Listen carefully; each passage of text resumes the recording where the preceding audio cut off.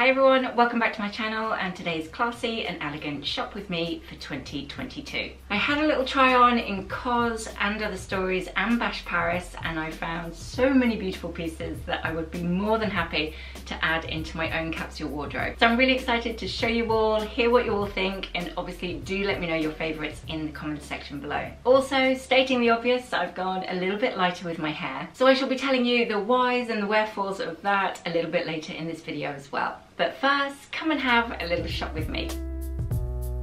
And this one has gone straight to the top of the list on my favourite outfits. And that's my spot chit chat for the day.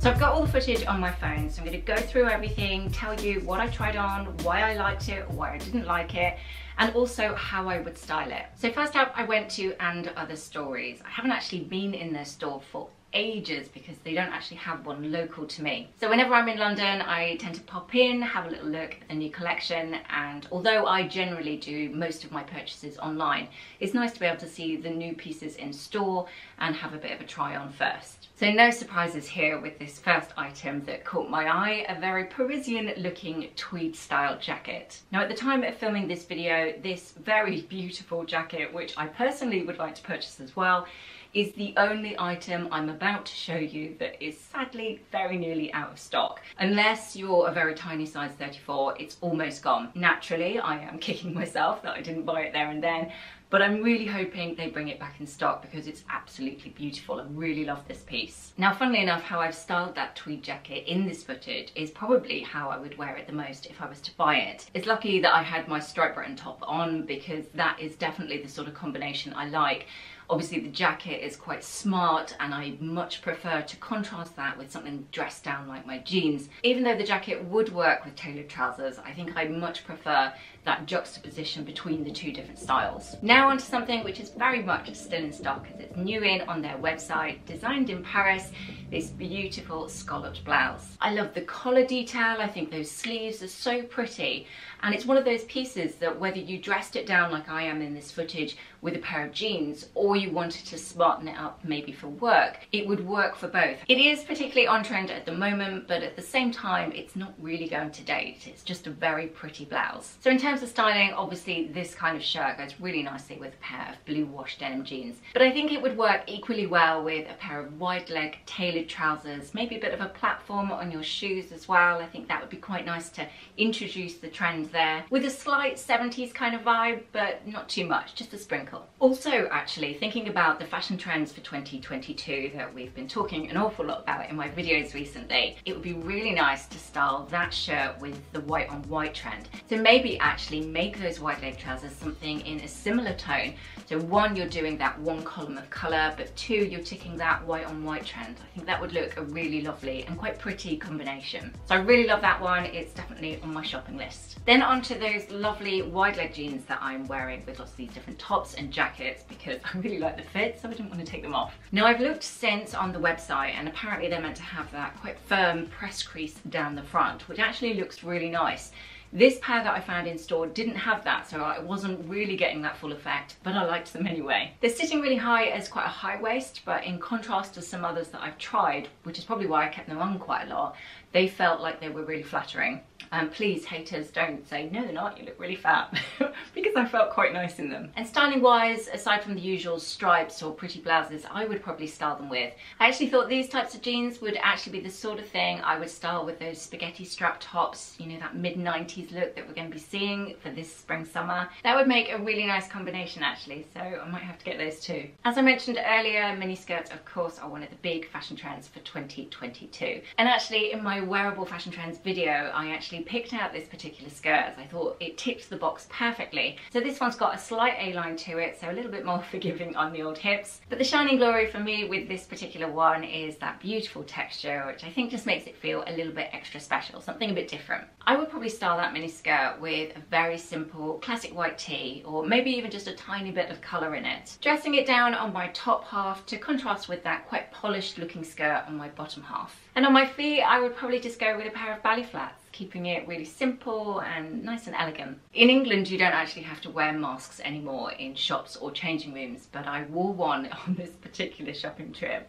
quite vainly because from the nose down I had the worst breakout of spots you've ever seen. I think I would have scared you all away if I'd have shown you. but particularly the right side of my face was like dot to dot between them all. I actually ended up going to, sorry I'm just waffling on about spots here, but I went to the doctor um, and I thought I'd mention it just in case anybody else is feeling like their face is not their own at the moment. This stuff that she gave me really, really helped. So it was prescription only, and I think it's called Differin. Um, so if you are having a crazy old breakout and it's not normal for you, it is really worth going to your doctor because this cream was like magic for me. Anyway, that's my spot chit chat for the day, just in case you all wanted to know back to my shopping. And to one very very pretty little knit. Quite Parisian looking again actually as a lot of things were in and other stories at the moment. First of all of course I can never resist a stripe. I think that's what caught my eye originally. But then when you look closer I think even the yarn detail to this one is really pretty I like the fact that the collar is in the contrasting navy and of course that very gentle bit of embellishment with those floral buttons making it feel a little bit more special I am wearing the small I believe so a nice fit I don't think you need to size up. I actually don't think these types of styles work if you go oversized. I think they need to fit quite true. At the moment, I would say I would definitely wear this with tights and a mini skirt, but I do see this as a really true transitional piece as we move into spring. Um, perhaps you don't want to wear a big heavy coat, but obviously it's a knit, so you've got a bit of extra warmth and wearing it on its own, obviously you get to show off that lovely top. Now I styled that knitted top with another pair of trousers that I picked up in store. These are the wide leg corduroy trousers in a dark blue tone. I do really like corduroy trousers and I would say normally and other stories are brilliant in terms of their fit. I just felt in the changing room, I thought, oh, these are coming up a bit short. And I've since looked on the website and they were meant to be a crop. However, on me, I thought they were kind of in between. They didn't feel short enough to be a proper crop. And normally I would say I prefer trousers like that to be quite long, literally just skimming the floor. So for that reason, I wasn't hugely enamored with this pair of trousers. I don't think it's really working for me. Now before we move on to all the lovely pieces I tried on in COS, I have one more gorgeous jumper to show you in stripes of course because I am a creature of habit. But I reason with myself that this one is slightly different to the other stripes I have in my wardrobe because this one is in beige and black. I deliberately tried it on in a medium because I wanted it more oversized. Um, certainly with striped jumpers I seem to prefer that. But obviously if you're not too keen on that slouchy look you could just go true to size. And the beige just felt like a bit more of a softer option to pair with a nice pair of tailored trousers, maybe some loafers on your feet. So then I headed over to COS and I have to say, just having a little look around the store, having a look through the rails, the one thing that was immediately really obvious was the quality of everything is just so, so good. I really like COS. I would definitely put it in, say, my top five favorite stores. So first up, I tried on this single-breasted blazer in a dark gray tone and totally fell in love with it. Now, I didn't realize this in store, but it says that it's made from wool. And in all honesty, don't let that put you off if you're thinking about spring's coming up and then summer and it'll be too warm. It's not heavyweight at all. I would have actually guessed it was viscose, maybe with a touch of silk in there or something. I definitely think it would work for now, transitional period, moving into spring, and possibly even summer actually, depending on where you live. I think I could get away with it here. Styling wise, I actually really like the combination that I'm wearing in this video. Um, those were the trousers I'm wearing. They are quite tailored that I got from Jigsaw. And the t-shirt is actually from COS, which I will show you in a minute. But keeping it really simple like that, but quite tailored, I think one, it looks particularly on trend for this season, but it's very classic, it's very timeless. None of those individual pieces are going to date and together I actually really like the combination. Now if you followed my channel for a while you probably have already gathered that I don't really wear a lot of bright colours. I much prefer quite a neutral palette of clothes. So it was really random that I even picked up this pair of trousers in the first place. Obviously the tailoring is beautiful, which is something that COS always do so well but I never thought I would like such a bright colour on me. It's possibly down to the fact that I'm styling them with a blue jumper, which I will show you in a moment, and the two of them together just really works. But there are those occasions where you happen upon a piece that really, really surprises you, which is definitely what happened with this pair of trousers. And then here is a closer look at that jumper in the light blue. As is the case with most, if not all, of COS's knitwear, um, this has been made from a blend of alpaca and wool that's been certified by the Responsible Wool Standard. So they really are making an effort to be as sustainable as possible. So I fell in love with both of those pieces worryingly.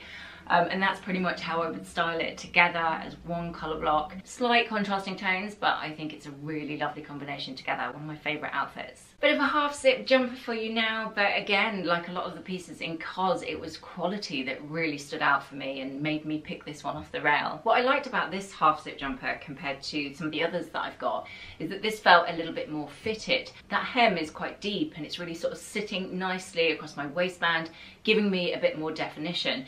And although I do like it actually styled with those tailored trousers, I was looking at this footage back and thinking that would actually look really nice with some of these tube dresses that we're seeing for this spring summer as well. So certainly again for now, uh, while it's quite cold, as we move into transitional period, obviously probably not for summer, but for these cooler months, I think this was a great option on the half zip jumper trend. Now remember, I've tried this striped jumper on before from COS, and for some reason, I didn't show you the footage. I think I was going to do a bit of a shop with me and then never got round to it. So anyway, I tried it on again, still loved it just as much as I did the first time I tried it. As you can see in this footage, it is very much oversized. I think this is a small that I'm trying on, and when I pull it out, as you can see, it is quite long. So if you're not a fan of oversized jumpers, this one probably isn't for you because there's definitely no getting around it. Saying that, I do actually, with all of my oversized jumpers, tend to do a bit of a half tuck just to give your body a little bit more shape. I think if you just leave everything out and baggy and often paired with quite wide leg trousers,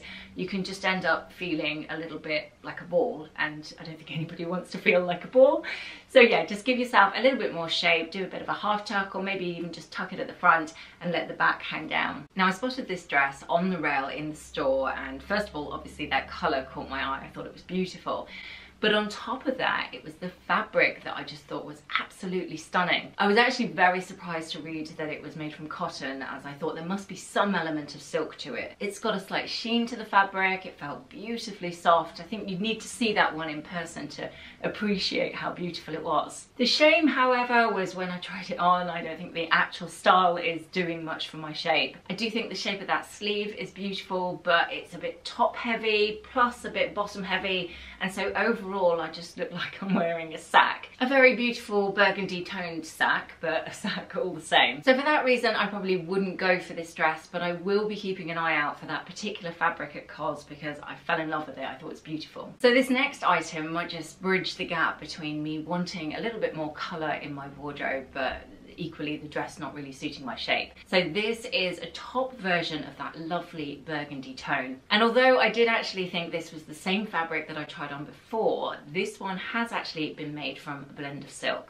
Again, you've got that really lovely shape to those sleeves. I like the v-neck, the fact that it's quite a boxy fit, so I can cinch it in if I'm wearing it with trousers or a pair of jeans. Or actually looking at this footage, I think it would work really nicely with a long maxi skirt. I think I bought one last summer from COS actually in navy. Um, it's quite tapered with a very gentle fishtail at the bottom. I think that would work really nicely together. So there's actually some really nice colours in COS at the moment which are slowly enticing me out of all my favoured neutrals. And next up I wanted to show you what I have unofficially named the best classic white t-shirt out there on the high street at the moment. Now I have tried a lot of white t-shirts in my quest to find the perfect one around. And this one has gone straight to the top of the list and it's only retailing at 15 pounds. It's very hard for me in footage to get across just how beautiful the quality of that cotton really is. But trust me when I say it was absolutely beautiful. I mean, it is organic cotton, but there was definitely a brushed feeling to it. So it was super, super soft. It's a little bit more heavyweight than some of my others, but it felt really substantial, like it's going to last you for years. So I tried it on in both the white and the striped version, um, and I also tried it on in the small and the medium for contrast. And I would definitely say if you like something a little bit more oversized, maybe size up or possibly two sizes. And I will probably end up buying that in a few different colors as I just love the quality so much. Definitely a winner. Next up, I headed to Ba&sh Paris, one of my favorite Parisian brands, which I've loved for a very, very long time. But particularly this season, they've got one beautiful collection. I want just about everything that they've made, which is very worrying for my bank balance, but amazing for my wardrobe. Now, I must apologize for the filming here. They didn't have a mirror in the changing room, so I had to come out into sort sort of the communal area and I felt really paranoid. So I do like a little quick bit with my camera and then put it away. But hopefully there's enough footage there to get a gist of the pieces I chose.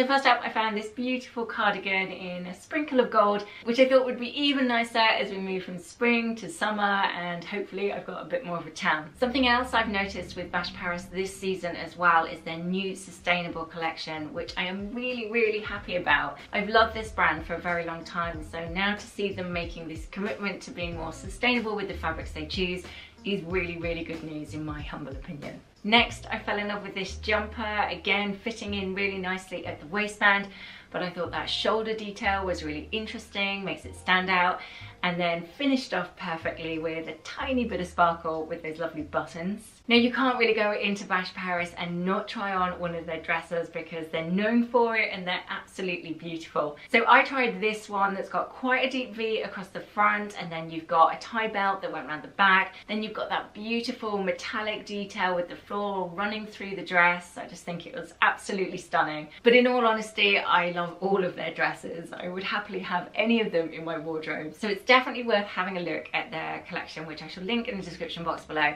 at the end of this video because I'd hazard a guess you'll find at least one, two, probably three that you would like to add to basket. This skirt is new in for spring summer 2022 and not only does it come in the midi length with the split that I tried but it's also available in a mini version as well so whatever you prefer on that front. I love those covered buttons and that tiny bit of ruching over the hip area. I think that's a really nice detail. Now although this jumper doesn't exactly go with the skirt I do think it's another beautiful piece of knitwear. Really lovely quality, something a little bit different with that gold thread running through it in those stripes and again, just that point of difference, making it stand out from the rest with that little bit of sparkle with those buttons. As you can see, it does look better styled with my trousers than it does with the skirt.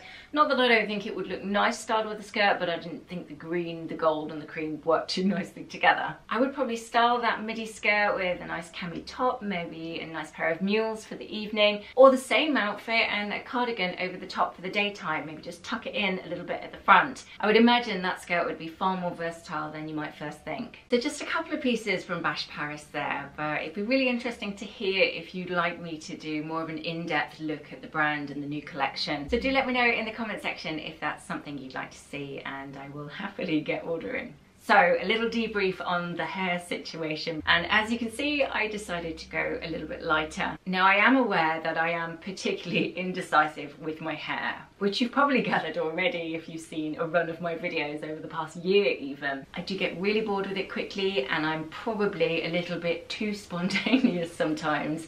I sit in the hairdresser's chair and they suggest something and I go, yeah, let's do it, let's just change it. And although I did love the dark brown and lots of you wrote some really beautiful comments, which I was very flattered for them, so thank you very much for that. I was finding that I was having to wear an awful lot more makeup um, being brunette than I do when I'm blonde. And as we move into spring and then summer, I want to be wearing less makeup, not more. So that was part of my reasoning, thinking the summer's coming up and I want something a little bit lighter all round. Originally I went dark dark because I wanted to give my hair a bit of a rest from all the highlights, get the condition back looking really nice again. But actually as it happened, because I went quite short with it, and my hair's fine but there's quite a lot of it I found that I've had to straighten it within an inch of its life to stop it going like a big lampshade which then negates the idea of dyeing it brown and you know helping the condition so anyway I'm really waffling now but long story short I wanted to go a bit lighter. So I went to my absolute favourite hair salon ever, um, who I used to go to